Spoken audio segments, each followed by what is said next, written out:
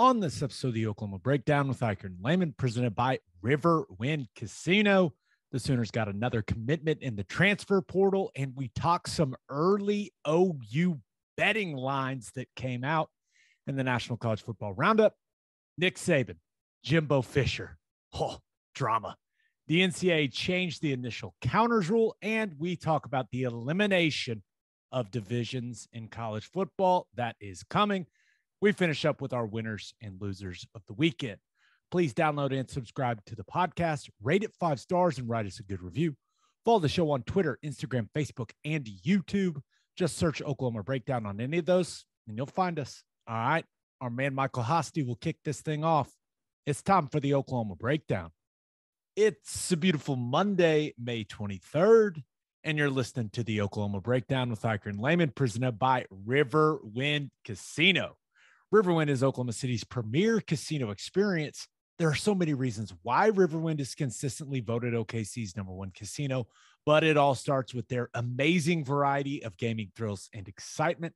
Riverwind's beautiful award winning environment plays host to more than 2,800 of the latest electronic games with a huge selection of table games, including blackjack, blackjack match, roulette, and Teddy's favorite, craps. No matter what your game, Riverwind has it in spades and hearts. And the Beats and Bites Festival starts this month. It's this week, people. Night Ranger and Starship will be performing May 28th. It's $5 general admission, and kids under 12 get in free. There'll be a ton of food trucks, and there will be all kinds of things for the kids, kiddos to do, including face painting and an inflatable obstacle course. To buy tickets, visit riverwind.com. Riverwind Casino, simply the best now recording this Sunday night. Please leave us a five star review and a nice comment. Also, if you would like to sponsor the podcast during football season, email the Oklahoma breakdown at gmail.com. Ted, how are we doing? Fantastic. What a weekend. Uh, a lot of good stuff going on out there, man. I can't complain. Full disclosure, and I know we'll talk about it in winners and losers, but went to the PGA championship at Southern Hills on Saturday and Sunday. Exhausting, just exhausting. Took took the little man on Sunday. He was crawling all over the place. I mean, he was he crawled across the 17th fairway like 15 times. We got some awesome. great pictures and videos from it though. When he's on the PGA tour, I'll be able to say this is where it all started, son. That's awesome. Really cool. Now, did you start to get worried about getting home in time whenever you saw we're going to a playoff? I I was concerned, but I was like, I I have faith. I have faith. And, and we made it. Don't worry, we made it, man. We're we're oh, recording at the normal time. Didn't have to send you that. Hey, man, I'm gonna need a little extra time text. I was prepared for it because I I thought that I was like, okay. It's not that far of a drive, but there could be some traffic with everyone pouring out of there headed back to Oklahoma City. Yeah. Full so. disclosure, we left before the playoff. Ah, smart. Very I, smart. I know. Judge me well, if was, you must, people. You would have had to. I mean, I, I don't know if you were out there. I don't know. We'll get to it later. We'll get to it. All right, let's talk some OU football. And Sooners got another transfer portal commit from former Arizona State wide receiver LV Bunkley Shelton. What a name! That I mean, this guy's got a name. LV Bunkley Shelton, a 5'11, 195 pound wide receiver. He's got three years of eligi- eligibility left. And Ted, from what I've seen of him, my initial reaction is that he's a guy that can add some depth. I don't want to say he's just a body. I think he's more than that. I, I think he is a guy that can add some depth, especially in the slot. Now, I I personally think he ended up at Arizona State when he did, probably because he doesn't have great vertical speed, just not terribly fast in a straight line. But the one thing that certainly stands out to him, uh, for me at least, when I watch his tape, is he he's got some wiggle to him at the top of his routes. You know, option routes there in the middle of the field he he can lose some guys and, and create some separation. He he's very sudden at the top of those types of routes. Also, you know, kind of those head hesitation slants, hesitation out routes. It's it's pretty impressive watching that stuff. But yeah, I not entirely sure how fast the guy is, but seems like a guy that could add add depth to the wide receiver room. And when, when you look at the numbers in that room, still not terribly deep, even though we're really excited about the talent in there. So nice addition, right? I, I think he's more than just a guy, just a body, but I, I'm not expecting this guy to be a, you know, 500 yard wide receiver for them or anything like that, though. Yeah, I agree. Um, he, he's he looks like a like a sharp all all around receiver that he can kind of do everything. Not going to blow you away with speed, as you mentioned, but a guy that's that's got enough athleticism to be able to run routes really sharply. And you know, if you've got a good understanding of defenses and kind of how to find yourself open, can be a nice asset. I that you're right. It's not numbers wise super deep, but it's going to be hard to get yourself on the field with the with the crew that's in there. It, it's not huge numbers wise, but I would say like top to bottom right now, there are a bunch of guys that can help them win. And uh, I really like the group that they've got. I think it's going to be really competitive um, because I do think there's going to be some battles there for some some guys to find their way on the field. Um, it's I think it's going to raise the level for everyone. And I don't know. I, I, think there's just a bunch of really good options right now at wide receiver. Keep we keep talking about it, or at least I keep bringing it up. Is everyone's just a little bit different, and I like that. I like having guys that bring a little bit something different to the table, and that may even help you if you want to go with a little bit deeper of a rotation than than maybe you typically would. Yeah, and, and when you think about what Lebby really likes to major in offensively. He's he's an 11 personnel guy, right? And, and you look at with with that being the case, you're going to have three wide receivers on the field. And, and, I think and I know that's a long way uh, until week 1 against UTEP, but but I think it's pretty clear that Marvin Mims, Jalil Farooq, Theo Wease are and Drake Stoops are the four guys that they feel really, really good about. And it's up to these other guys, right? Brought in Hester, the transfer from Missouri, which I guess goes by JJ. I was told that JJ Hester. And that guy, we, we know he's got speed, but you've got also, you've got guys that have been there for a while. So we'll see. But you're right. I, I feel like we know those four are going to be key contributors. And then, I mean, how many wide receivers are you going to play? Six, seven, eight? I I don't know.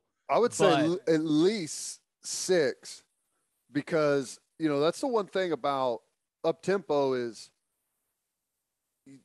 those receivers when you get rolling. I mean, there's a lot of running. They're sprinting down the field and they're sprinting back to get lined up and set up and ready to snap the ball next. And you know, a lot of times the super snap, super fast snaps come after running plays. But my guess is if you've got the same personnel out there and you run five or six snaps of up tempo, move the ball down the field, and then maybe have an incomplete pass, there's going to be some wideouts tapping the head to come out. And you probably have to be prepared to have a full full change of 11 personnel uh, at least to be able to um, you know to run your stuff as normal and as quickly as you want.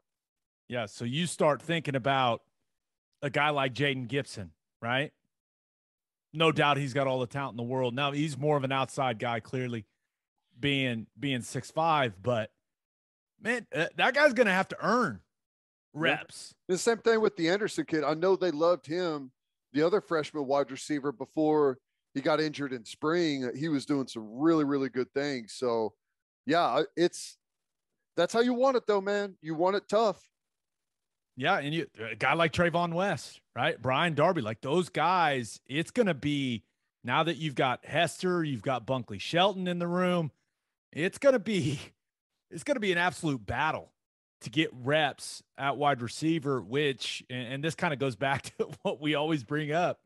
when these rooms start to get a little crowded, it's just to raise the level of play of everyone.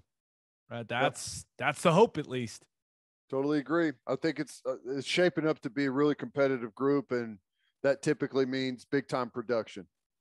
Yeah, and it sounds like Jeremiah Criddell uh, gets an assist for LV Bunkley Shelton committing to Oklahoma. Sounds like they've been they've been tight for a long, long time. They go way back. So that that's always nice when you've got a when you've got a guy that's on staff as you know a student analyst, student assistant, whatever you want to call it, uh, on the defensive side of things, and he can he can talk to someone he has a prior relationship with. Isn't that nice? That's a that's a very nice thing to have. Hey, and it's nice if you're trying to get into coaching and you know that's one of the parts of it. Like what are your ties? Who can you bring in? Recruiting. It's a nice little win there. Yeah, good good for you, Jeremiah. Well, done. Way to way to contribute any way you can. That's that's how you move up in the coaching world, baby. I like it. Okay, so it's that time of the year, Ted. We got some betting lines that are that are coming out that have come out from FanDuel. And they put out quite a few Big 12 betting lines, which means, of course, there are some early OU betting lines. OU opens as a four and a half point favorite at Nebraska. Your initial reaction? Uh, I think the line is probably right. I think OU will cover that and has the chance to perhaps cover it big. But I think that line is probably right, considering that Nebraska's played in I don't know how many one score games in a row. Um, and last year against OU, it was it was the same. But I I think I think that is I think that's going to be enticing for OU backers whenever they see that it's less than a touchdown against Nebraska. Um, you know, we we have the capabilities to go in there and and route Nebraska. We do. I don't think they have the capability to route us. Um, they have the capability to play us tight. They they've had some solid play on defense. They kept the defensive staff there. Um, they've got a new offensive staff. Venables is familiar with this offense, played against them last year in the ACC. So I think it stacks up as you look at it right now, stacks up really well for Oklahoma. But we've got some unknown. I mean, I I think that it's it's to be expected though to keep it within that one score range whenever you're going against Nebraska. Yeah, and that's going to be I was trying to think of like the most hostile road environment OU's played in in a while. And Nebraska, and I know everyone knows how how nice their fans are, stuff, but like that place gets loud. That's that's not gonna be an easy environment for this football team to go into. But when you like you mentioned, I, I, think Nebraska's defense. I know everyone's a lot of people in Lincoln are excited about Casey Thompson and what he could be, you know, possibly being an upgrade with what they've had recently with Adrian Martinez. But the question for Nebraska after talking to some people uh, close to that program, it, it's the defense, right? Will, will that defense be able to stop anybody? Lost a lot of good players off that defense. And will that defense not only be able to stop anybody, but who on that defense will be able to get to the quarterback seems to be the big question after spring ball for the Huskers. So I, I see that and I'm like, oh, yeah, lay the four and a half, no doubt. But then I have to remind myself that is going to be going to be a tough environment for for a team that you know you there's a lot of newness for OU. So that'll be that'll be like the first test of some of these new faces, you know, on the roster, but also these coaches, you know, coaching together in an environment like that. They haven't, that will be the first time they've experienced anything like that together as a staff. Think about this. You've got, this is going to be the 22 season. last year we didn't have what was our biggest road game last year? Um, trying to think of wherever where we even went last Baylor? year. Baylor. Baylor, which you know is a cool stadium, but it holds what forty five thousand people. Oklahoma State with what was on the line for that game is probably yeah. the the right answer. So Oklahoma State, small stadium. Um, then you go back to the 2020 season, right? You you were playing in the the restricted uh, capacities. Like you got to go all the way back to 2019, and even 2019, it's probably the same at Baylor. You know, it's probably the biggest road game there. Not con- not counting the the semifinal. We don't play very many big time road games. I mean, Ohio State was in 17 whenever it was on the road. But that's one of the problems with the Big 12 conference and always been one of my big complaints is I you've got these tiny stadiums that you go to and most of the places they're never full. And this is good this will probably be the bit the biggest road crowd they've played in front of and since since 2017 yeah the place hold what? It holds 90,000 Memorial Stadium there in Lincoln well, then, yeah, uh, definitely since since 2017. So yeah, I now I'd still lay the four and a half, but no doubt it, it is it's interesting to think of it that way. like that is they are going to be going into an environment that maybe now I, I know there's some transfers that have played you know in some big venues you know a couple guys coming from the SEC stuff like that but it's, it's going to be the most hostile environment a lot of these kids have ever played in yeah, I don't think there's not any kids, maybe some super seniors that were on the trip for that 2017 game, right? At Ohio State, but this is going to be the biggest that any of those guys have been to. And and let's not forget Nebraska was the best 3 and 9 team of all time last year. They were. Or at least that's what I was told. One game, one score uh in every every single game, right? Every loss. They like to keep it close when they lose. Uh, that place, that place is going to be rocking for that be. game. It will be. It's kind of like Custer's last stand for uh, Scott Frost, isn't it? It definitely is. That's a that's a massive game for his future. Yep. Right. And you mentioned like Mark Whipple coming from Pitt. He he doesn't want to have to get a new job. like no. so that's it. That's gonna be a motivated staff and a fired up Nebraska fan base. Okay, the next early line that's out. OU is a one point dog versus Texas in the Cotton Bowl. Yeah. Your thoughts? I don't know. I don't know how you justify that. Now, I would probably, if I was setting the line, I would probably set it at OU minus two and a half. But I mean, that's not that big of a difference between the two. But I don't know. I just, I have no clue how you could justify putting Texas as the favorite in that game as we sit right now? I I, I think the justification would be that Quinn Ewers is the second coming. And I've you and I we we've talked about how much skill talent they have offensively. Uh, I mean, there's no doubt. I think Xavier Worthy is he's going to be a star. I think Jordan Whittington, when he's healthy, is fantastic. Bijan Robinson's the best running back in all college football. Right? They got two big athletic guys. Even though I'm out at I'm out on Billingsley, I may be more in on Sanders at the tight end spot. But that that offense is going to score points. A lot of people don't realize Texas last year when you just look at the conference game, they they led the Big 12 in scoring. Mm-hmm. They can score. So that's where I, I think that offense is going to be is going to be humming. I just don't know about the defense. And, and I know that Sark, he's had a lot of success in the transfer portal. I just, it, it, that game is always decided in the trenches. And I got some serious questions about Texas at the offensive tackle position and what that defensive line is going to look like. So I, I kind of love that OU's an underdog right now. Now we'll see, you know, we'll see when the second Saturday in October rolls around what What's shocked. What? My it'll end up being OU minus two and a half would be my guess. I think that will that will largely depend on what happens in week two with Texas against Bama.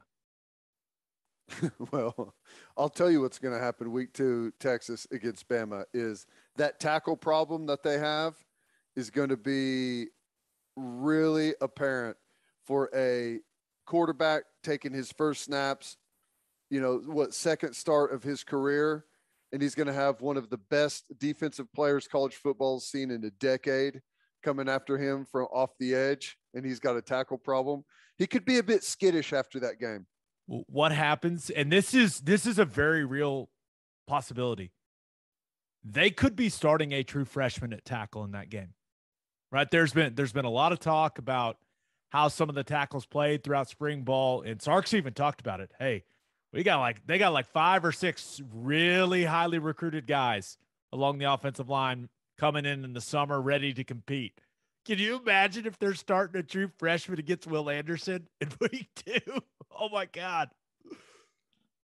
It's going to be ugly. Uh, and I, hey, I'm, I'm, there's no doubt in my mind that Quinn Ewers has a ton of talent, throws a really good ball, and he's probably going to work himself into be a really good quarterback. But first year starter, I, I just, we'll see. We'll see. I, he, he will have had that, and I know that that game's in Austin, but he will have had that game against Bama to kind of feel that big that big game feeling, right? Guy hasn't felt that in a long time. Well, so. that's true, but big game feeling. I'm not here defending Ewers. No, I'm no, no. just saying. I'm just like, but what my thing is like, if it's a big game feeling, a big game atmosphere, and you're getting absolutely pummeled uh, off the edges because you can't block anyone, but it doesn't have you feeling real good in the next big game atmosphere. Yeah, especially if Texas can't run it against Bama, that's where th- things could get could get real dicey for them quickly in that game. I I will say when it comes to OU Texas, if if FanDuel or whatever sports book, if they could just put the shrug emoji where the line goes, like you, yeah. you really, I mean, just look at last year's game. I mean, that game was insane. Yeah. So it's crazy. You you never really know, but from a from a ex, from an experience standpoint, like Dillon Gabriel's way more experienced than Quinn Ewers. He's played in bigger games in college, so you would expect him to be a little more comfortable. Now he hasn't played in OU Texas, but you would expect if you're just thinking big, big games, usually you're thinking head coach and quarterback. Right now, I think Sark and BV, uh, both generally unproven as head coaches. Now, maybe Sark showed us more that, you know, with what happened at Washington happened at USC. Maybe he's proven more that he's not a great head coach at this point in his career. But yeah, when you think about those big games, head coach, quarterback, going into it, I, I know it's a long way away, but I feel pretty good about OU's chances. Yeah. Yeah, I, I did too. It's good. I, I'm trying to think of when the last time, because usually it's not, it's not 100%, but first time starters at quarterback do not fare well at OU Texas. And I'm trying to think I'm trying to think when the last time we had two first time starters in that game on both sides of the ball um, for both teams. So I don't know. It's going to be interesting. Yeah, been a while, that's for sure. Okay, last early betting line that came out Oklahoma State in Norman. Sooners open as a five and a half point favorite against the Cowboys. That is in this year remember bedlam is not on it, it's not on that thanksgiving weekend this year right? It's the week before. Is that right? I think so. You know how they make that weird every once in a while? Yeah. I'm pretty sure that's the way it is this year. I suppose i could just pull up the schedule and that that would be helpful but it's a long time from now it's a long time great point it is a long time from now but with I, i'm just taking i'm uh, I'm taking OU by a touchdown every time in Norman. And even yep. though we we've had some we've had some really, really good bedlams over the last decade, but with with everything Oklahoma State lost, and, and, I know that Spencer Sanders was the first team All Big 12 quarterback, and he's back, and they got some pieces on offense back, got some offensive line pieces back, but just they just lost so much defensively uh, in, in, the secondary and a linebacker. I know they got some of those defensive linemen back, but and I think Collin Oliver is is on his way to being one of the best players in the Big 12 on the defensive side of the ball, but I just I look at that and I'm like, oh yeah, give give me I'll lay that five and a half Bedlam in Norman. Yeah, I agree. I think it's I think it's really interesting what style of football Oklahoma State's going to play this coming season. You know, you've you're going to have the quarterback that's got a ton of experience. You're going to have some good weapons offensively, defensively. I, I know they've got good pieces, but it will be somewhat of a rebuilding year after last year. Last year was an elite defense. They're not going to play defense at that level again this this season. I, I don't think there's any chance. Got a new defensive coordinator, lost some guys that had played a ton of really good football for them. So I wonder if they're going to kind of switch back to an offensively driven football team. Um, I don't know. I I think that they're just going to have a lot of lot of trouble with OU. And by the time these two teams play, is when I feel like Oklahoma's going to be hitting their full stride. And that that's a that's a really interesting point because I I've thought a lot about that. I don't think they can play the way that they played last year. Uh, you you can't be that conservative offensively in 2022 because you're, you're right. That defense isn't going to be as good. I mean, it, I, that's the best defense they've had in the history of the school. Yeah. Right. It, it, they were elite last year. Elite. it is, it is unrealistic to think now. Der- I, I think Derek Mason's a heck of a football coach. I think they're going to have a lot of carryover from what Jim Knowles did in that system. I think they're probably going to blend what Derek Mason likes and what they had a lot of success with with Knowles and, and kind of form some hybrid system that's got got the best of both. But Spencer Sanders going to have to win him some games, right? Throwing the football down the field, and when you say it out loud, yeah, like, oh, oh, okay. So when they take the reins off, man, you know what happens? He turns the football over, and and maybe they run it really well, like they did last year, right? Remember the formula? Run yeah. now. I know Jaylen Warren isn't coming back, right? I know he's gone, but it was run it with Jaylen Warren and then play really, really good defense. I, I think the defense could be good. They're not going to be really, really good. And we'll we'll see if, you know, a guy like Dominic Richardson or what someone can take over as the feature back there for the Cowboys. But I just think, I mean, they're going to have to rely on Spencer Sanders a little more. And with what we've seen from him in his career, that's just that's probably not something you want if you're an Oklahoma State fan. Problematic.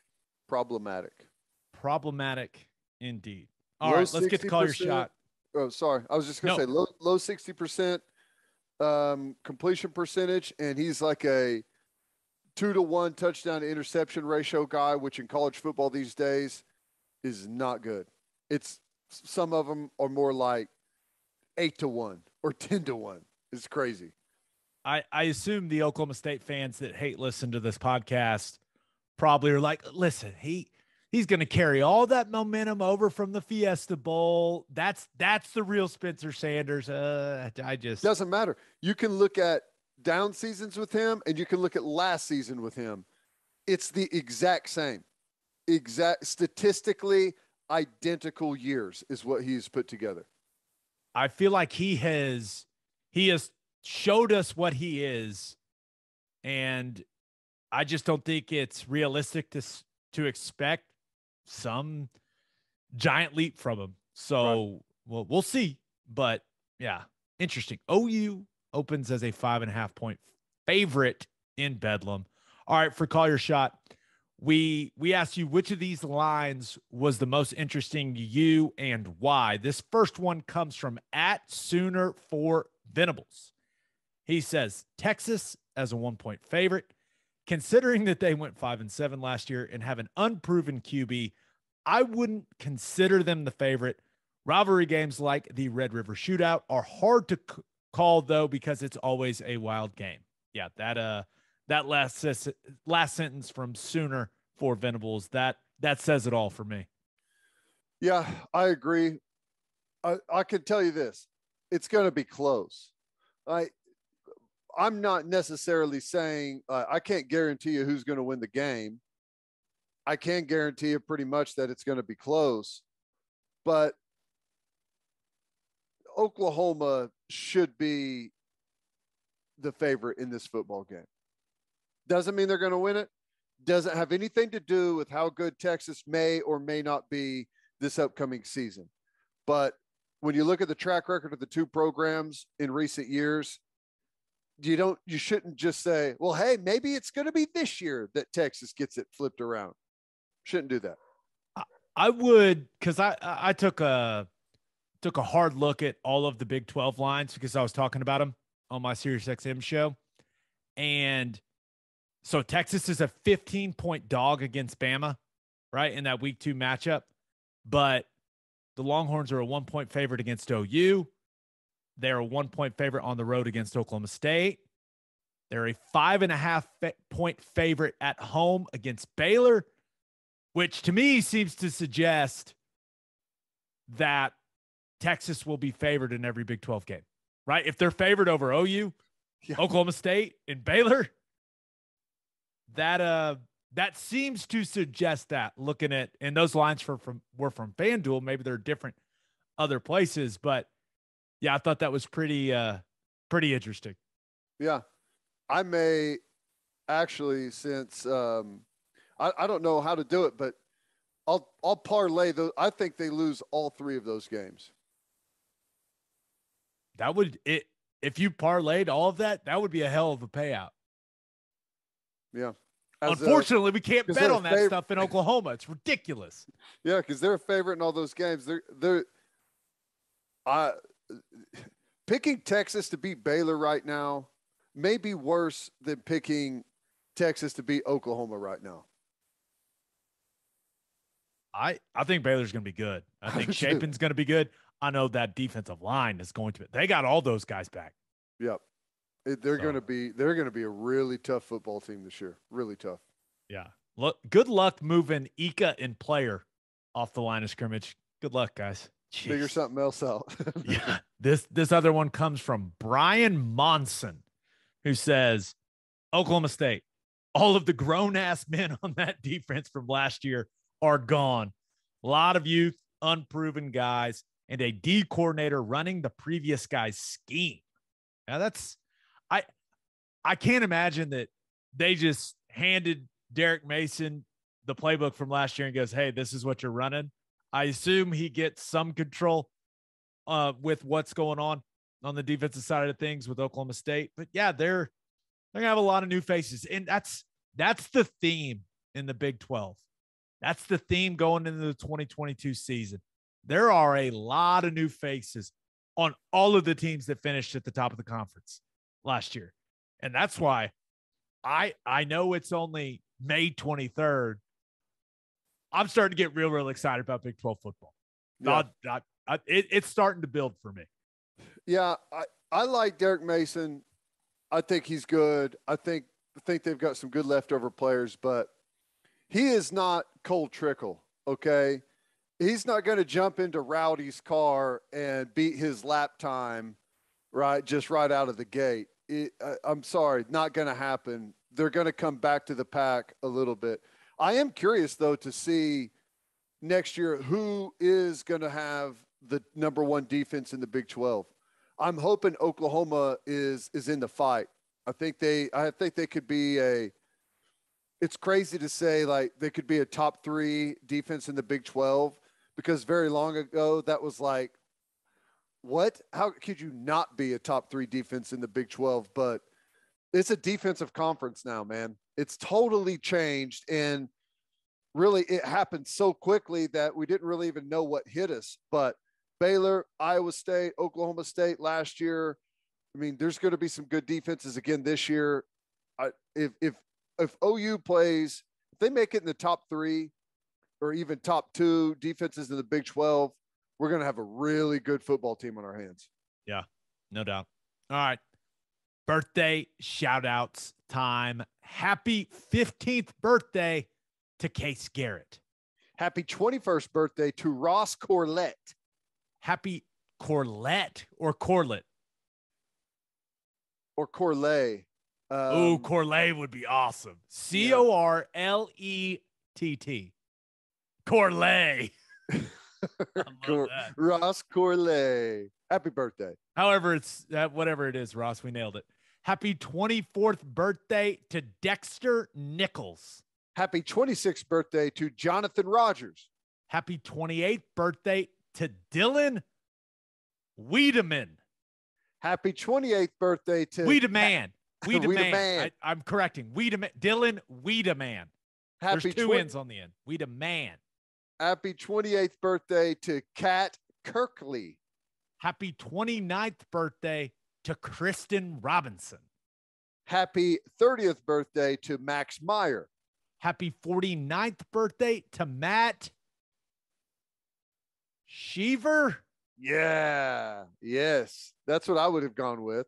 Because Shiver would just be S H I V E R. This is Shiver, S H I E V E R. That's what I'm going with. Perfect. Nailed happy it. Happy 51st birthday to Mark Lewis.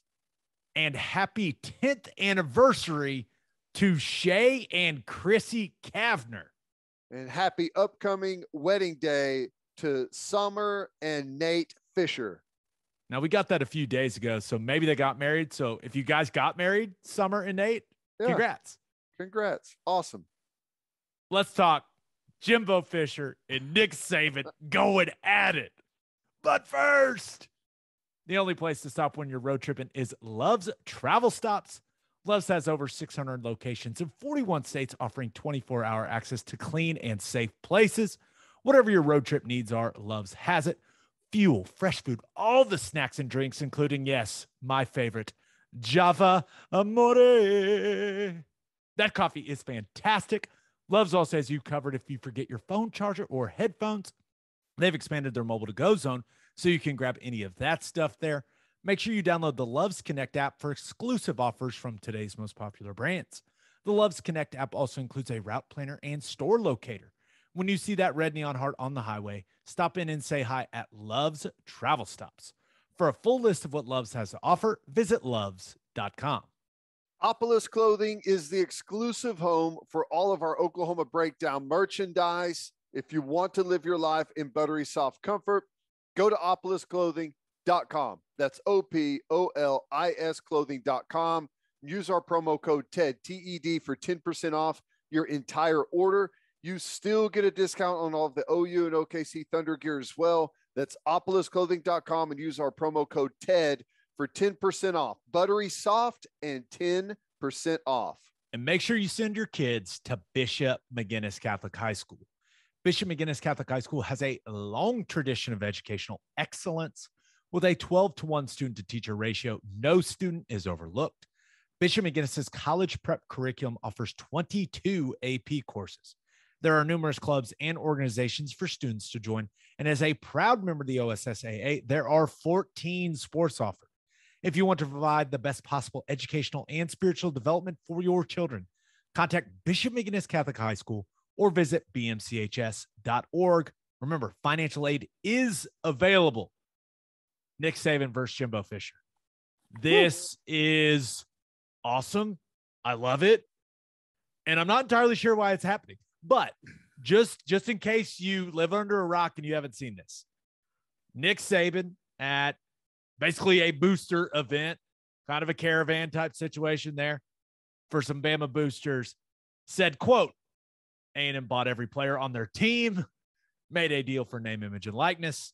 We didn't buy one player, but I don't know if we are going to be able to sustain that in the future because more and more people are doing it, which really pissed Jimbo Fisher off.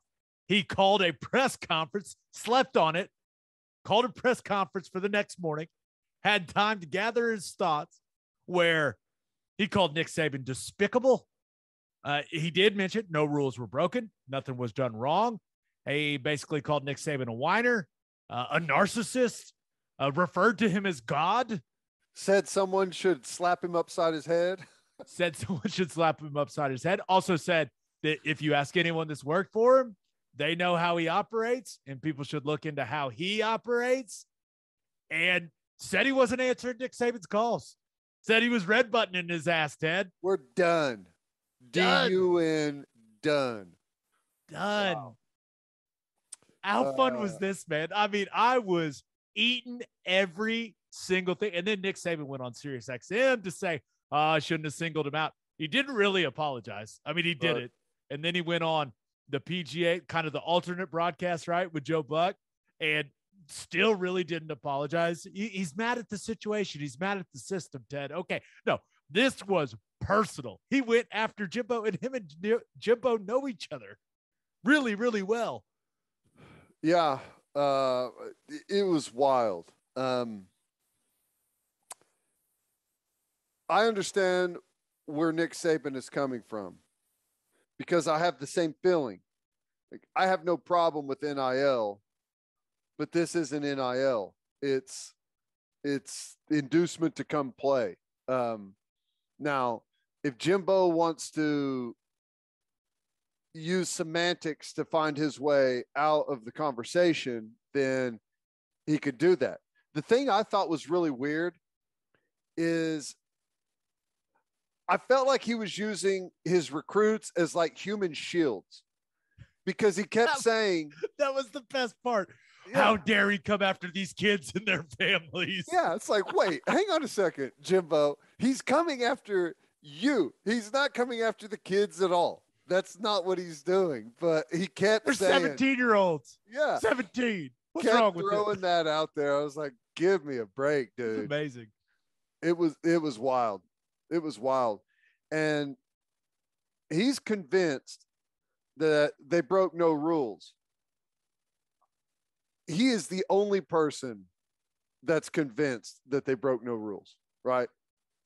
He was he was very careful with what he said, right? Like Texas state law. We didn't break yeah. any Texas state yeah. law. He he at no point said, "Uh yeah, when you compare compare what we did to the NCA guidelines that just got put out. Yeah, no, no, no, we're in complete compliance with that." He never said that. He said, "Yeah, we we didn't violate any Texas state law. Like we we followed it to a T, and we're really good at following it to a T. And he's right. Yeah. He's right. The NCAA is not going to do anything to Texas A&M. I mean, they're not. So he's, I, I thought what Jimbo Fisher did was brilliant because the NCAA, I am still in the camp, even though they put out those guidelines, uh, kind of a scare tactic. I am still convinced they aren't going to be able to do anything. They're not going to be able to do anything. They're not going to be able to enforce any of it. I, I just, I don't think anyone's scared of the NCA. So what does Jimbo Fisher think? Like, hey, if I'm not scared of the NCA, I'm going to back my players, my recruits, and I'm going to give this fan base what they want to hear. I'm going to tell Saban to go to hell. He hadn't won more than what eight games there. uh nine. Nine. Well, They had the one. Was that the COVID year when they had Uh, the? I think so. Yeah, yeah. but he hadn't accomplished anything, right? No. He hasn't won the SEC. He hadn't even come close to winning the SEC. Right. But the fans love him right now. I mean, Right. adore him right now because he just now beating Bama last year certainly helps a lot. And I think Saban's still really pissed that he lost that game last year. But he looked, I think Jimbo Fisher looked at it, looked at this and went, NCAA can't do anything. I'm going to get my fan base going. And I'm going to use, like, I'm going to use the recruits and the kids, like, as my main point. Like, how dare he come after my players? So now I'm defending my players. I'm all of a sudden the players coach, and my fan base is riled up, right? And they're already riled up. Number one recruiting class in the country, number one recruiting class ever, right? And, and now they're looking at this like, yeah, Jimbo standing up to Saban. Saban's scared of Jimbo now. He's trying to he's trying to get us in trouble. That's exactly what A and M fans are thinking right now. It's hilarious. I love it. It is. Now, here's why I think what Nick Saban did is brilliant. Oh yeah. because obviously what he does not want this model. He does not want the model, right? And he is he's trying to get public support for kind of us against them. And he's able to put a a face on what we don't want. It's Texas A&M and it's Texas. Right? That's what we don't want. We don't want these big collectives. We they're buying recruits. This is not the intention of the NIL. Guess what? He plays both of those teams this coming season. And if you can make them be the representation of what everyone hates right now about NIL, and you can go out and pound them, you can say, see that? It don't work. That crap does not work. Yeah, you want to go sign with these guys and maybe make some money, that's fine. It don't work. If you want to win, you better go somewhere that does it right. I think that's what Nick Saban's doing because he doesn't do this stuff just like he wouldn't say this just on a whim. You know, I think it's I think it's thought out, and I think he's trying to make those schools the poster boy for the NIL that's gotten out of hand, and then go in there and beat the hell out of them. Yeah, it, and it helps when you've had the best players coming to your school for a long time. Yep. But there's also I and I agree. Like I think he I think Nick Saban, like in its simplest form, he doesn't love how the sport's operating right now. Now, some people viewed that as him because remember, he said all this stuff in a room full of Bama boosters, right? Mm-hmm. And it was almost like, hey, we didn't buy one player. What? Why not, guys? What are we doing here? Are we are we going to get this rolling, or are we going to let? Because we remember he's like we had the second recruiting class, A and M was first. I think some people in the crowd heard that and they went, "Yeah, we didn't buy a player. Why didn't we buy any players? we should have bought more players. We would have been number one." That, so there's part of me that thinks, and that's like the the Jedi mind trick of Saban, right? I, and I think a lot of people saw that, but I think he really just doesn't like how the system's operating. I I wonder if part of if this is part of it. He is built, and first of all, no one believes that they didn't buy one player. I mean, what are we even like? Come on, guys. What are we? What are we even doing, Nick? Right. Uh, I mean, come on. Everyone knows how Bama's been operating for years and years. It's it's just that way in the SEC. They don't tell on each other. It's fine. It's just how life works in that conference. But let's let's not just say ridiculous things. I know you're the best ever, coach, but come on now. Let's let's be real. But I, I wonder if part of him is pissed. Like he is built, he's built such a juggernaut there in Tuscaloosa, right? And he's done it over years and years and developing guys. And now he's got this system where it's like you go there to go be a first round pick, right? And guys will, they will they will suffer through that system because of the reward on the other side. And, and now that system he's built and like that built-in advantage that they have now because they've just been turning out so many NFL guys that that feels like it's being threatened by the way that the new system operates right where you know, they were getting this, all of these players. They weren't getting all the best players, but they were getting a whole lot of them. And now some of them can be influenced to go to A&M. Some can be influenced to go to Georgia. I mean, the NIL money, like the built-in advantage of him just saying, "Hey, do you want to play in the NFL? Come to Bama. Come be right. look. Hey, All of these Well- guys have done it. Now that I, I feel like that advantage with NIL money has has been I, I maybe I'm I'm being a little No. too dramatic, but I feel No, like I think you're right. it's it's- dwindling a little bit. Well, it's a threat to it. Right. That's that's why I'm saying that he has pointed to to A&M and said, "Look, everybody, that's the bad way," and he's going to try and score 100 points on him this year.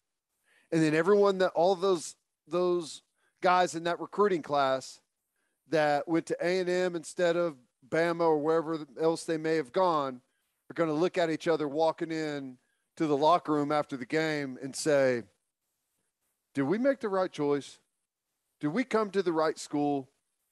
Is this is this really what what we we signed up for? Is this how it's going to be? I, that's what I think he's doing. Uh, on top of all the other things too, you know. Remember, whenever everyone started playing offense the way that they are now in college football, he said specifically, "Are we sure this is what we want?" Are you sure this is the route that we want to take the game? If it is, okay, fine. And that's whenever they change the way that they recruit. And that's why their offense has been as good as it has been in recent years, is because he said, okay, fine. If that's what's going to happen, we're going to do it too. And they've been damn near unstoppable. He he also casually mentioned that players from their team made three million dollars in NIL last year. Just he just worked that in there. Yeah, everyone's hearing these guys go back and forth, right? Jimbo Fisher and Dick Saban, they both make just an just un unbelievable amount of money. And I'm over here like, wait, did he say three million for those players? What? But yeah, it is it was incredibly entertaining. I the, the content gods, the, the they continue to smile upon us. Well, I was I was hoping they were really going to smile on us. I when Jimbo started ta- saying, "You go look into it, look into how he operates," I was like, "Please, Jimbo, please confirm that you guys spied on Oklahoma at the 2003 Sugar Bowl. Please confirm it. That's what we want to know. Everyone wants to know. Give us the content. Be great. If if if he would have come out and said that, would you have been okay? Would Oh, it make you feel better? no, Okay. I don't give a shit if they stood on the sideline and watched our practices. There's no way they still shouldn't have beat us. I love that about you. Never I just- change, man. I just want the content. I just yeah, we just I just let Ted get riled up a little bit. and Be like, oh yeah, but you know, we still should have beat him. That's oh eh, by the way, this is not over. I know everyone's talking about October 8th. And by the way, that is gonna be an incredible day of college football. It is. OU Texas and Bama A&M. Oh my god. I guess it was on the same day last year too, wasn't it? That's the Yeah. day they beat them. Yeah. So I uh I think a lot of college football fans are circling that date. Oh, but this isn't over. These guys have to be in the same room a couple different times uh, coming up here over the next few weeks. So that should be very entertaining. Sign me up for it. Oh, yeah. Okay. That dominated all the headlines, right? Jimbo and Saban going back and forth. But there there were a few really significant things that the NCAA D1 Council did. And, and the first one was they announced that they are waiving the initial counter scholarship limits for the next two years. So, as a lot of you know, teams were limited to 25 initial counters per year. So that includes high school recruits, transfer portal guys, JUCO guys. That's that's how that worked. So for the next 2 years, teams will be able to bring in as many initial counters as they need to bring in to get to the 85 scholarship limit that's in D1 college football. So th- this is a this is a result of kids having an extra year from the COVID season. It's a result of what's going on with the transfer portal and all the movement. But I also think it is a result of common sense because I I never understood, and I know some people said, "Oh, we want to protect kids from getting processed. We want to protect." we want to protect people from, you know, Bama or Ohio State just loading up with all the best players and recruiting classes. Like, uh, I, I, I get that, but it, it never, it never made sense to me that Kansas couldn't get back to 85 scholarships. Right. That right. It, it always made me upset. Right. That they were playing with like what 40 something scholarship guys at one point because they have had they had had failed coach after failed coach after failed coach. So I am I'm thrilled. I I never understood why this rule existed in the first place. I understood some of what people said about it, but I always looked at it and went, aren't we just aren't we just withholding scholarships, college football scholarships from high school kids and from JUCO kids? Isn't that what we're doing? And yeah. that's not what we're doing anymore, Ted. So I think this should be celebrated. No, I think it's good. Um, yeah, you've been you've been punished for guys transferring away. That that shouldn't be a punishment if guys are going to transfer and leave and go somewhere else. So I like it. Um, is there going to be some perhaps unintended consequences from it? Yeah, maybe, but it's hard to see right now anything major as a negative coming out of this. I think I think hopefully it ends up being a, a good positive. And, and like you said, some schools have have been down for quite some time. Hopefully everyone can get back up and have closer to a you know a, a level playing field. Yeah, there was there was no limit on how many guys could jump into into the portal from your team. Right. So it, like if you have a coaching change, you have this mass exodus of players, and they could after the recruiting season is basically done, right? Right. Because so, you have that early signing period. And what new coach wants to take that job and not be able to replenish the roster? Like that's this makes all the sense in the world. And we've heard a lot recently about how the portal is affecting high school kids, right? And, and how they're being recruited and and the number of scholarships that they're being offered. And, and when that was that was that limit was at 25 initial counters man, if you were a coach, especially if you're a new coach or if you're a coach that is on the hot seat, like who are you going to take? A, a, kid with college football experience from the transfer portal or an 18 year old high school kid? Yeah. Right. I mean, if you're trying to get get started on a good note as a coach, if you're trying to save your job, hell, if you want to win, if you're a coach, so you're always not always, but a lot of the time, you're going to take the kid you've seen play in college games over the kid you haven't seen play. And now you can get to 85 and maybe you can take both. Right. Because you're not worried about that 25 scholarship limit. So I I think this is a this is a big win for high school recruits who have had a pretty rough go of it since all those guys got that extra year of eligibility in the COVID season. Yep. Nope. I agree. I think it's good. I think um, I think it's going to help some teams that have been struggling with coach turnover, and I, I think it's going to help some teams that have had some trouble with um, transfer turnover. I think it's good. I don't see a negative from it other than, you know, which I don't even know that it's a negative. If if you're taking a big number of scholarship guys and – Maybe you do have to process some guys. You know who's getting processed? It's not it's not the guys that are doing everything right. It's not the guys that are making grades and working hard and showing up to practice and doing what they're supposed to every day, hitting the weight room hard, trying to progress. Those aren't the guys that get processed. The guys that get processed are the guys that you constantly have to fight to keep their grades up, to get to meetings, to do the things that they're supposed to do. So my opinion, that's that's kind of what you get. If if you don't want to get processed, do the right things. Do the Coaches, right things. even if you don't make a ton of plays, there is still there are still such things as locker room guys and culture guys. If you're a guy that does everything the right way, coach isn't want to get rid of you. He isn't going to want to get rid of you, even if you're not making a ton of plays for him on the field. Right. Most of the guys on the team aren't making plays. There's a hundred guys in there. Some teams have more than that, and you know, you've only got 11 starters, offensive, defense, some guys rotate in. There's not a whole bunch of guys out there that are, you know, you, you don't see 50, 60 guys playing on a Saturday. That's not what happens. Most guys are they're scout team guys. They're they're backups. They're you know special teams guys. It's you know it's it's a big group, and you've got to find your role. A a message to any college football player that feels like he could be in the danger of being processed.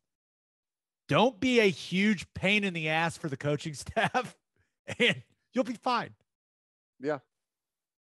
Be somebody that they're happy to see every day because your grades are taken care of, because the strength staff has said that you're showing up and working your tail off in workouts, because you're listening in meetings, you're taking care of your film and you know your playbook. And whenever you're standing there and someone goes down and you have to jog out there, you're not lost. You know what to do.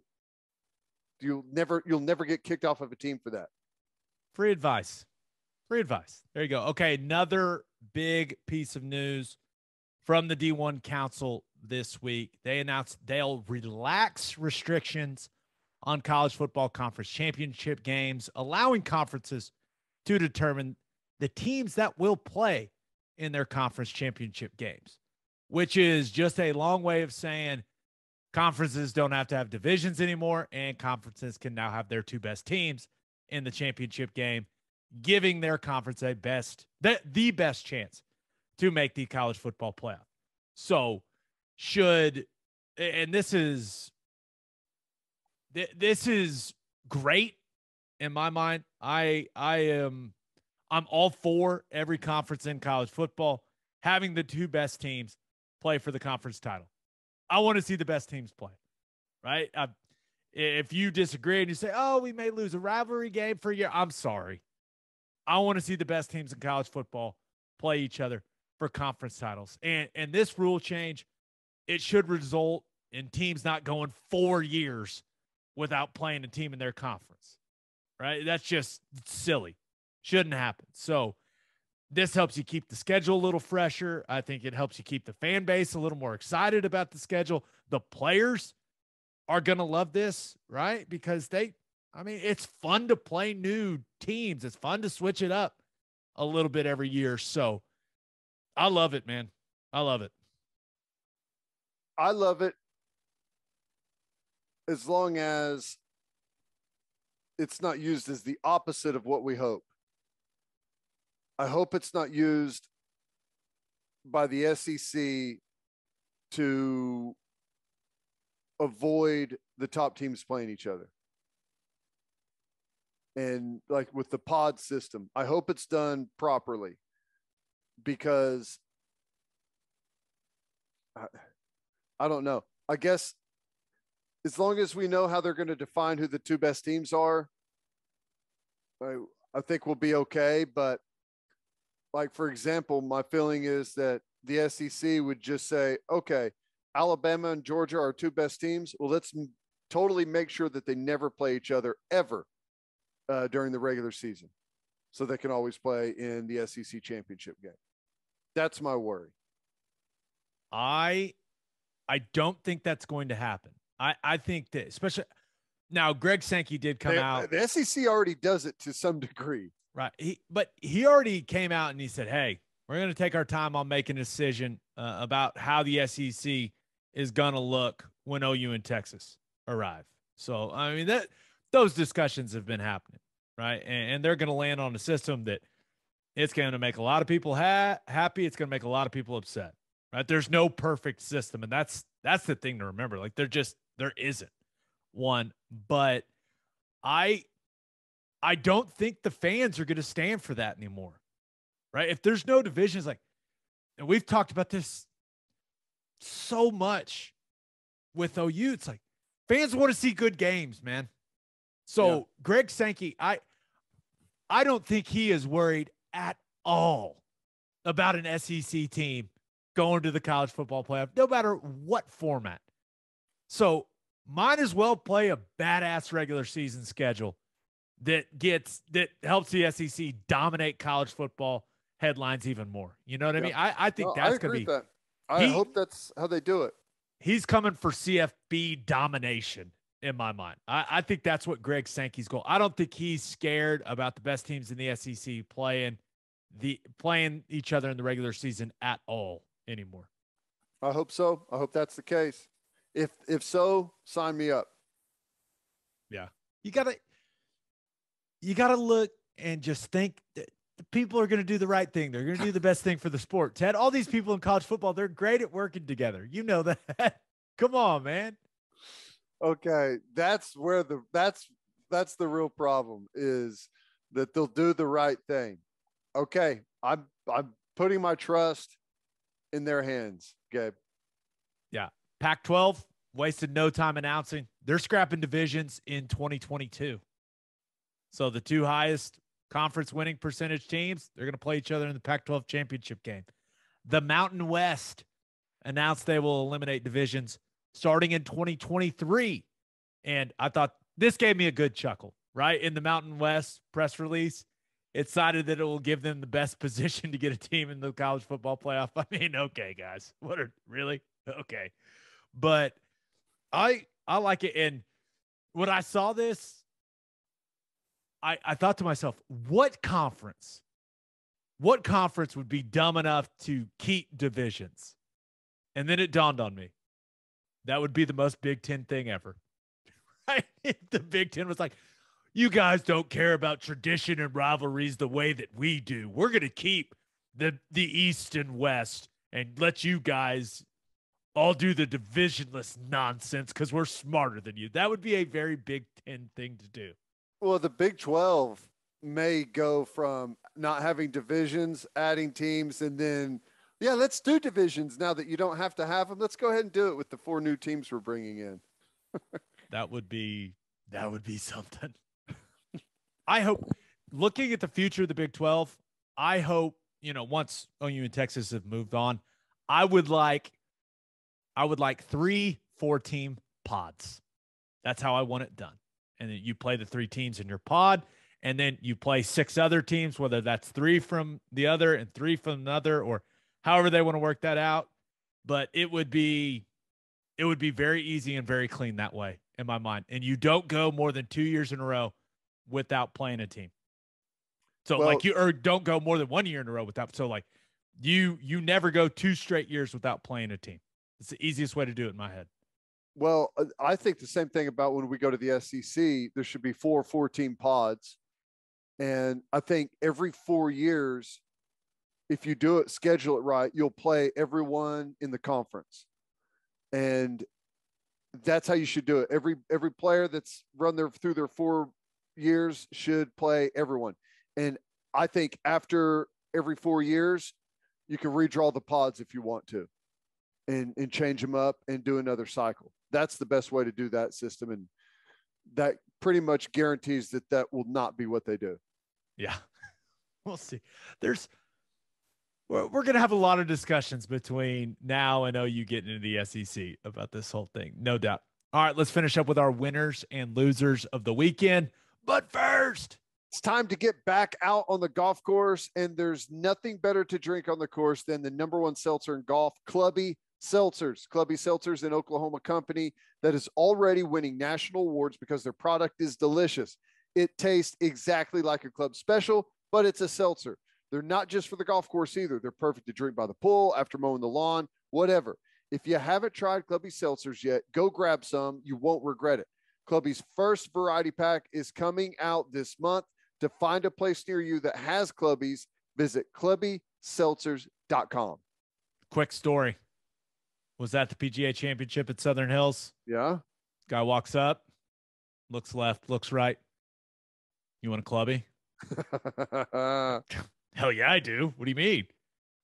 They weren't selling clubbies at the PGA championship, Ted. You got a rogue clubby? I got multiple rogue clubbies, and I was very happy about it. Did you feel like you were doing a drug deal out there? I took a picture.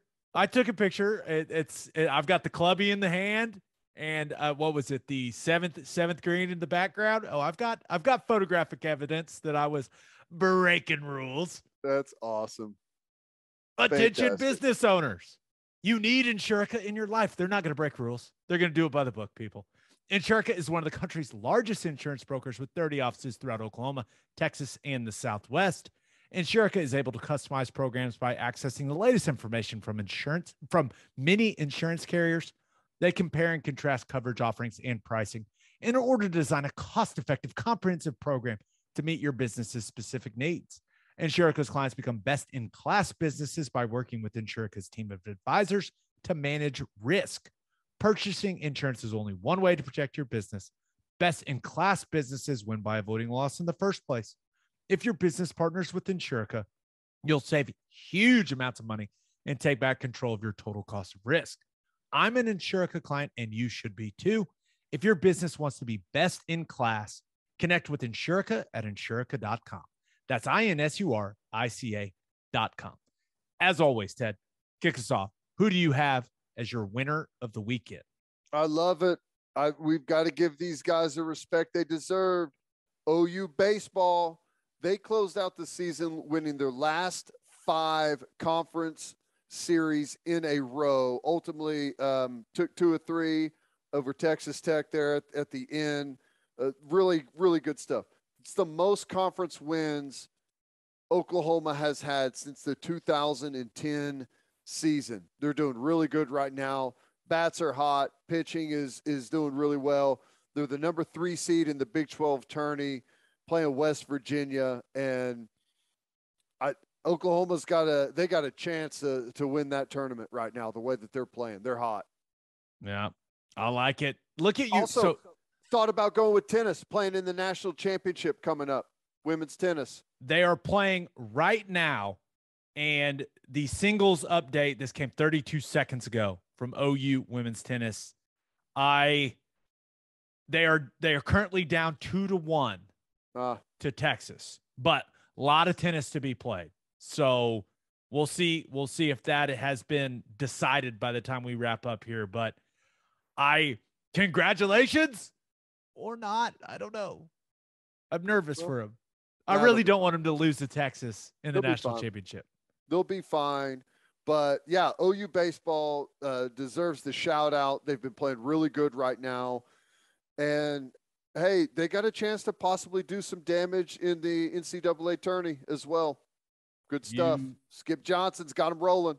Yeah, you want to be hot, they will the number three seed, their number three seed in the Big 12 tournament. And they will play West Virginia in the first round of the Big 12 championship on Wednesday.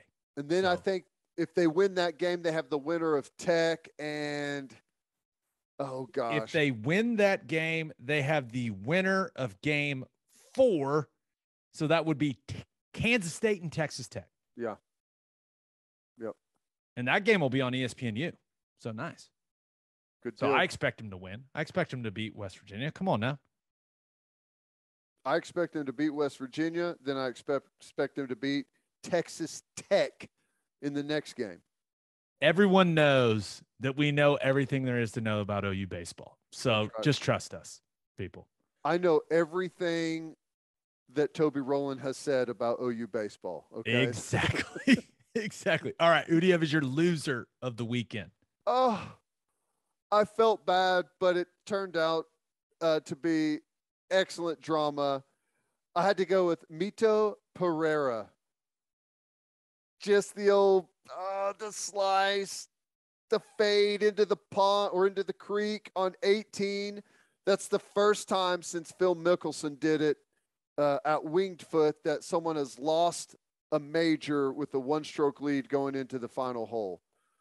Just brutal to watch, but it gave us a great playoff.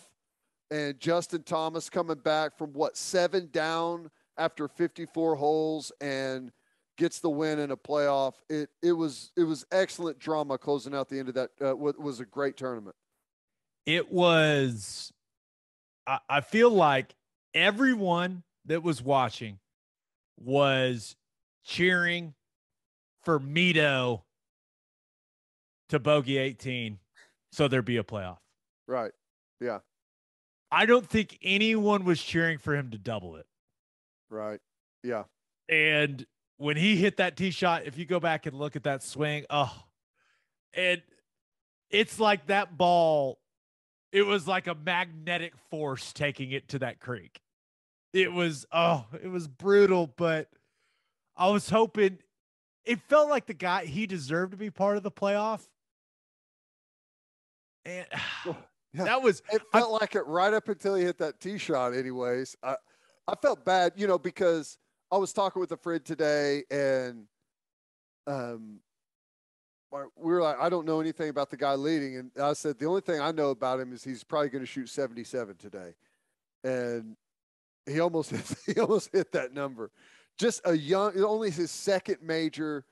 To find yourself in that position, uh, just to wake up Sunday morning as uh, the leader of a major, and then be on a on 18, one shot up, and just everything in your your soul saying, just don't hit it in the water, just don't hit it in the water, just don't hit it in the water.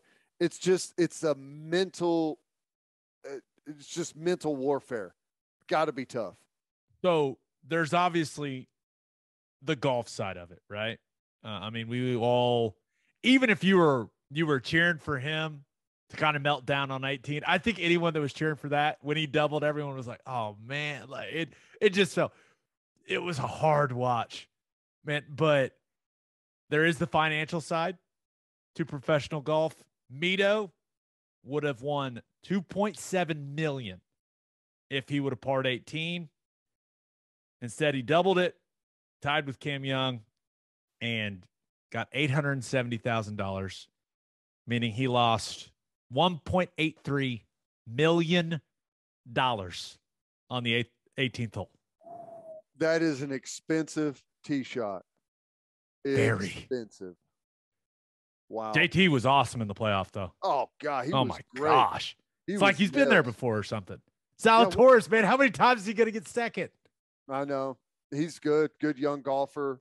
Uh, that was a lot of fun. And hey, standing O for Southern Hills course was awesome. It was beautiful. It was a hell of a challenge. We saw all four seasons in four days somehow. It was. I thought it was. I thought it was great. Really, really well done. The only thing I didn't like is that they kept playing that damn "Living on Tulsa Time" song. Like that's all we listened to in Oklahoma. That's it. That's all we got. no, I I went went Saturday and Sunday. Saturday that that weather was miserable, man. It was, was. cold and like like spit and mist. It was awful. But it was so bad Tiger Woods was like, "I am out of here, guys. See ya. See ya. I'm good. Thanks." Fire up the jet, boys. I- Did get to see Tiger Woods play golf in person for the first time. it's awesome. And watching a crowd follow him is something, man. Oh, Is it just like a glob of people making their way around? it's the course? I mean, it's incredible. But yeah, it was. We we had this set up on the seventh fairway, so you could see, you could see shots into seven, and then eight tee box was right behind it. So I could go, I could watch the shot in from seven, kind of walk down with it, watch him putt, then go watch him all tee off on eight. Which on Sunday, Ted, par three eighth hole, playing a casual 253 yards into the wind. I was like, I was like, dude, I'm hitting driver and I'm probably not getting there. Oh my god. Well, that's dude. I saw Zalatoris on the 625 yard par five go driver three iron in. He hit like a 270 or 280 yard part uh, three iron. On on Sunday, Rory Rory had it rolling early, right? It looked like he may go real low, but he putts on seven. I'm like, oh, gotta go. And by the way, Rory's got a big crowd that follows him too. I mean, a lot. And he has one of the most recognizable walks on planet. Earth. Like that's Rory. yeah. And that's funny. he he is looking he, he steps into the eighth tee it's playing over 250 he's looking and he's like looking up at the trees and he just pulls an iron out of the bag and just wait i was just like oh my god watching that dude hit a golf ball is fun man It's crazy. Yeah. And he's a little dude, but he rips it. What's he like? 5'10? yeah he's not very tall but i will say he works out Jack. Yeah. he's he's- He, he's one of the he's like the guy I'm like, yeah, that dude lifts. Nice, Rory. But I will say, Southern Hills, I never been on the golf course. My number one takeaway, I want no part of that golf course. I mean, Yeah, absolutely I no part to of it. I didn't play it until I saw it on TV, and then it's like, yeah, you guys can have it. It's like the walk up to the gift shop, like the, the it's not a shop, like merch indoor facility is basically it was like a college indoor facility of all the PGA Southern Hills merch. Like you go up like 18, and I it, was not. I was like, God dang, man. That place was a madhouse, by the way. But yeah, it was really well done. That was the first major tournament I had ever been. It was it was so easy getting in and out, like security, everything. It was it was great. awesome. And I did have Good. an open bar, so that never hurts. That's great. Good stuff, man. That was awesome. They pulled off a, a great event. Yeah, it was it was really cool. Congratulations, 918. You guys uh you done good. That was that was fantastic. All right, let's get to my winner and loser. But first, First Fidelity Bank is a full service financial institution based in Oklahoma with tailored solutions for all your personal and business needs. Checking accounts, saving accounts, home loans, and much more. They do it all, whether it's online banking from your computer or mobile banking from your phone. Everything is stress free with FFB. Making mobile deposits, paying bills online, and moving money to different accounts could not be easier. First Fidelity Bank provides free ATMs worldwide, making banking convenient wherever you are. They also give back to the community. FFB donates a total of more than $500,000 to local charities and educational foundations. Make your life easier and go bank with First Fidelity Bank. Visit ffb.com for more information. if you are a whiskey or bourbon drinker, stop what you're doing, head to your favorite liquor store and buy some Balcones products. You got to grab some of Balcones lineage single malt whiskey. It was just voted won of the top 20 whiskeys in the world by Whiskey Advocate, and you'll be shocked by how affordable it is. Also, you got to snag some of Balcones baby blue corn whiskey. It's made from blue corn. That's the fancy corn. And that is why it is one more than 25 awards. Last but certainly not least, you got to buy some of Balcones pot still bourbon. Its big flavors make it the perfect bourbon to drink year round. Remember, in 2012, Balcones single malt won the best in glass competition, beating brands like Johnnie Walker and Macallan, and became the first American distillery to win the competition. This stuff is the real deal, people. If you love great whiskey and bourbon at a great price, then Balcones products are the only way to go.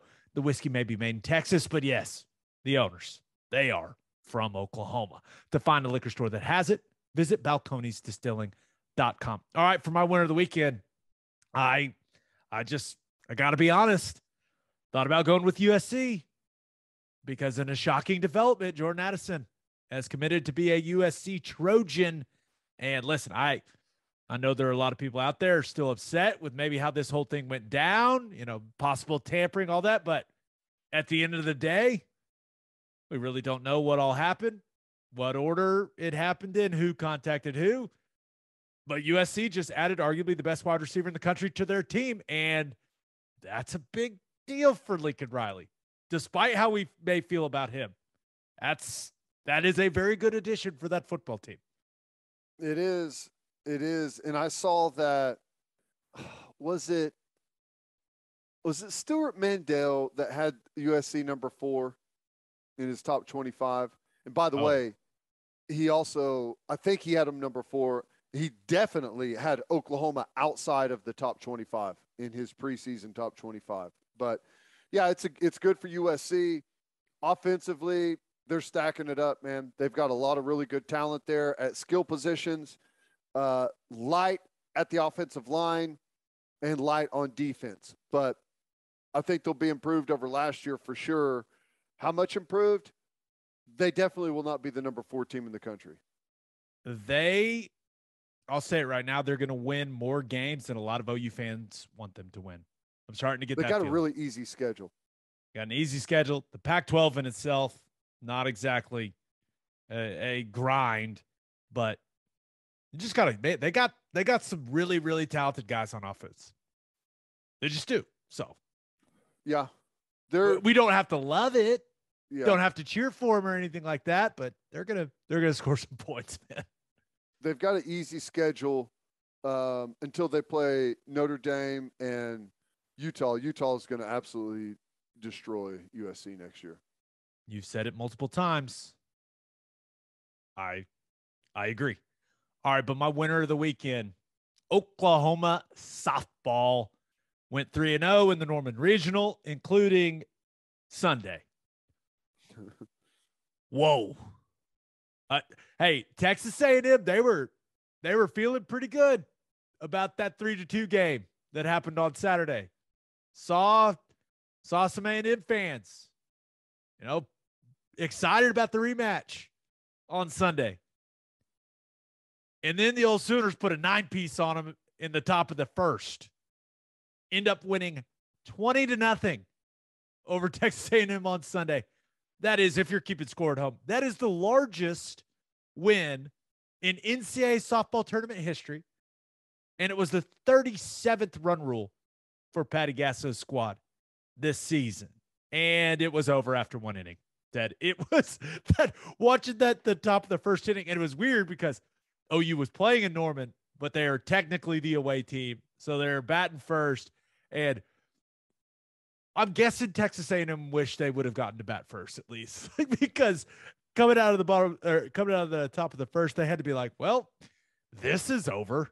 Yeah. And it was everyone. I mean, it was everyone doing damage to him. And Alo, she sent that one to the moon. And that was her second at bat of the inning. Well, here's the thing. I, if there is a softball equivalent of a 77 to 0 score like the football team gave uh, A&M back in the day. I think 20 to 0 in a uh, NCAA softball tournament regional is the equivalent, right? Isn't that it? Yeah. yeah, it was. I I kind of felt bad.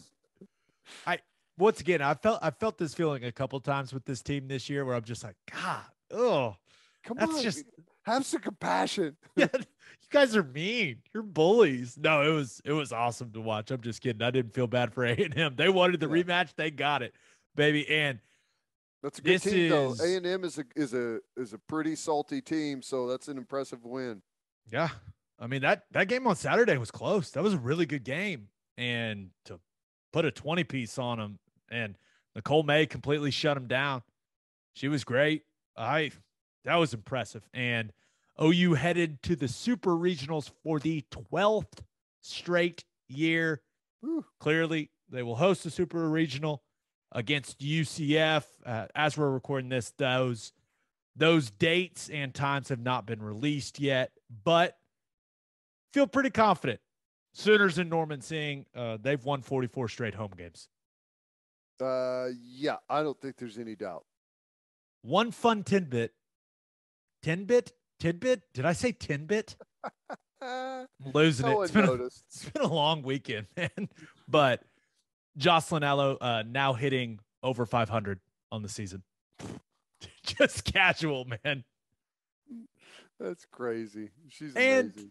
And if you're paying attention out there to softball, you know, Alabama's been been a big deal. Patty Gasso talked about their favorable draw in the regional. Uh, not so much they got eliminated by Stanford in that Tuscaloosa regional. They're out. How about that?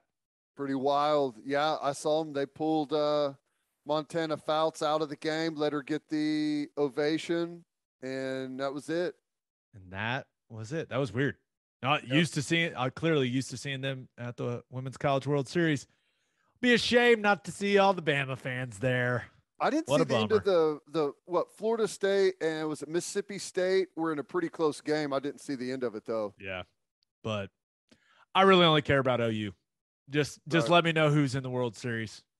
That's that's really all I'm worried about. All right, for my loser of the weekend, thought about going with Charles Leclerc. Man, uh, a lot going on in the sports world, but still got my F1 fix in. Ted, this guy fastest in all three practice sessions in Spain won qualifying, so he started on the pole, was leading the Spanish Grand Prix until the sport's weird, man. Car just it just stops working, power goes out, and he's just screaming in the radio, "No, no!" and it's kind of brutal for him. because it, and who knows if he would have been able to hold off Verstappen. But well, history would say no, he would not be able to hold off Verstappen. I I don't know, man. Leclerc, he, he was leading in the driver standings until this race because hey, guess who ended up winning? Uh, Lewis Hamilton. No, although Lewis Hamilton, he got hey, he got in a little fender bender on on the first lap of the race, and it worked. fixed the porpoising. They they have it's certainly it's certainly better. George Russell, his teammate, finished third, but Lewis Hamilton got damage to the car on lap one. Said had to come all the way back from P19. I think he finished fifth because Sainz got by him with only a lap or two to go. But it was, I think he was driver of the day. He had quite the comeback. Had to work through a lot of traffic nice. to get that top five finish. Well, impressive stuff.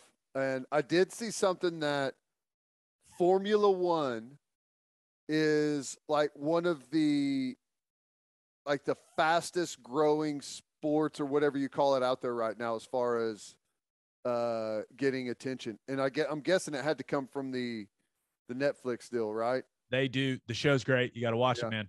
And because the races really are like if you're just sitting there watching it on TV, it's not like the most exciting thing in the world, but like you you get attached to the characters. You sure. know, that's sure. that's where that's where the I, I think the sport is growing because of that aspect of things. But you didn't guess Verstappen won, man. Come on.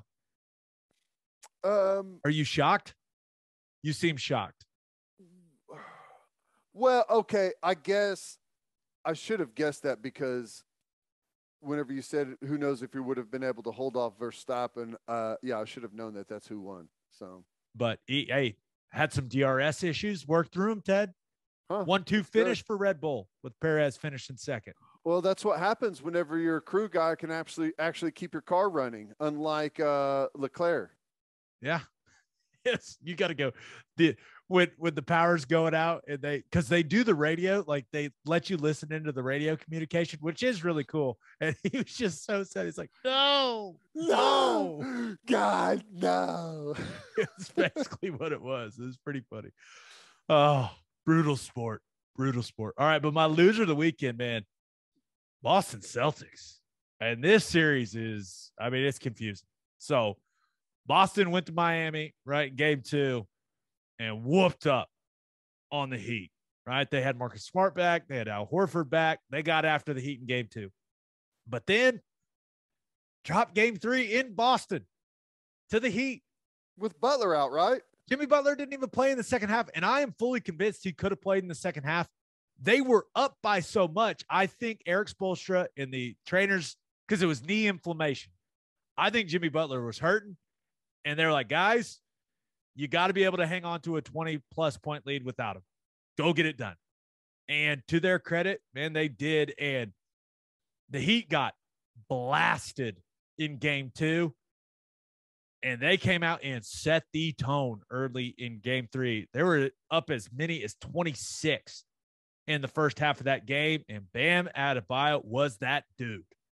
Super aggressive, just dominant throughout the game, uh, 31 and 10 in game three for Bam after having really disappointing performances in game one and two of this series. I thought PJ Tucker was also huge for Miami. I mean, hit some really timely shots.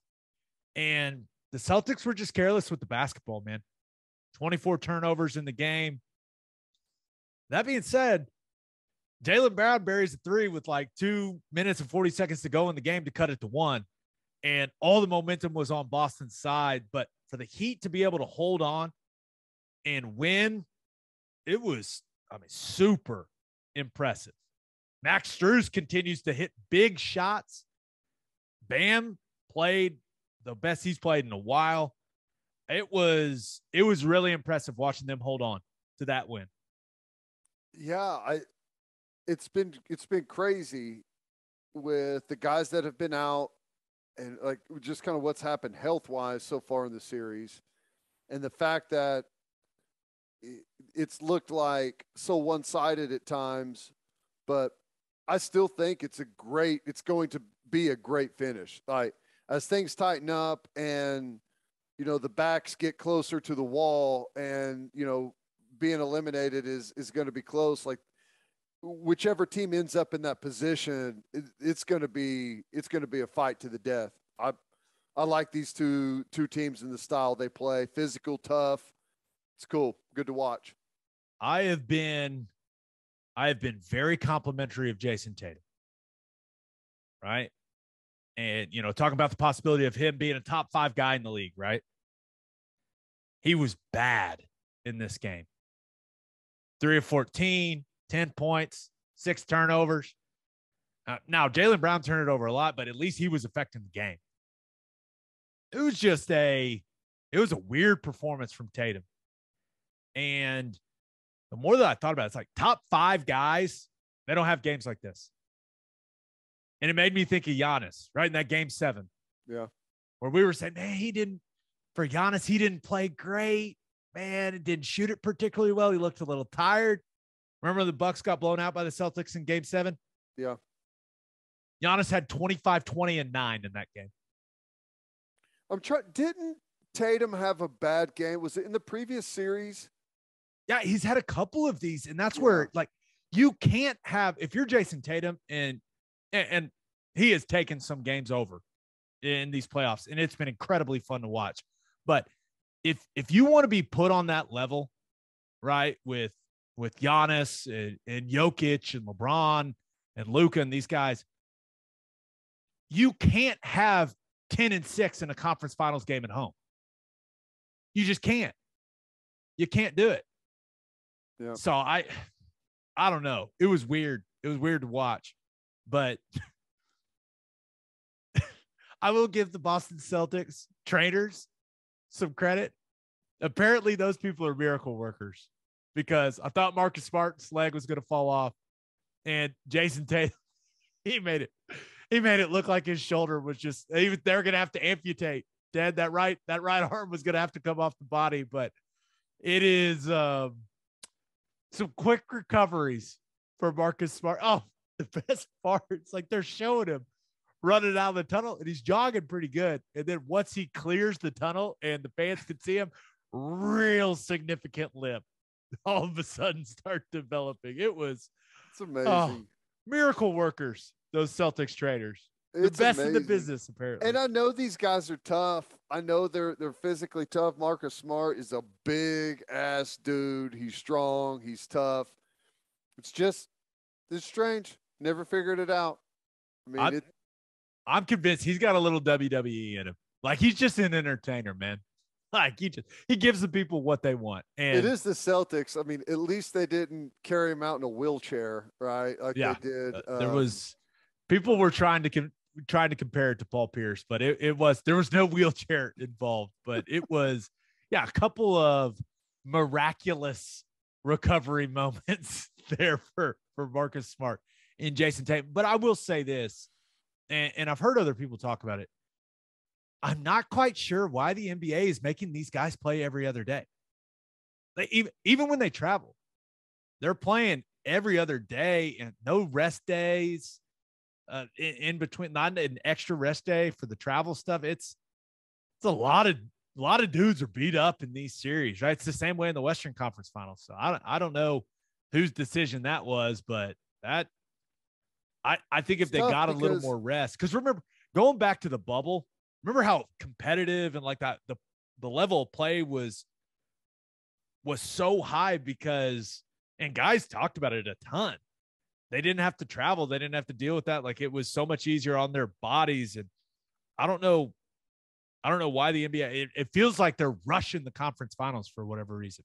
Yeah, I don't I think it's they're they're in a tough spot because I know there's there's always been complaints that the playoffs take too long and they drag on forever. But you know, and then you've got you got to think about the players, and I mean, ultimately, what you want to see is the best players healthy, fresh, and have it be decided on the court, not decided by who's the least banged up. You know, so yeah. I don't know. It's tough, tough yeah. balance. Yeah, it's just I was watching that Heat Boston games. I was like, who's left? Man, it was it was it was brutal. All right, episode 216 in the books. We'll have a new podcast that'll drop Thursday morning. Just a reminder, you can hear Teddy from three to six on 94.7 The Ref. You can hear me from three to five on Sirius XM Big 12 Radio, channel 375. I just realized we haven't talked about when we're going to record on Wednesday. So we'll let it, it'll be a surprise when the next episode comes out. You guys, you guys will love it. I'm sure it'll be great. Hope you all have a great week. Until next time, we appreciate you all for listening and do what you always do, Oklahoma. Take care of each other.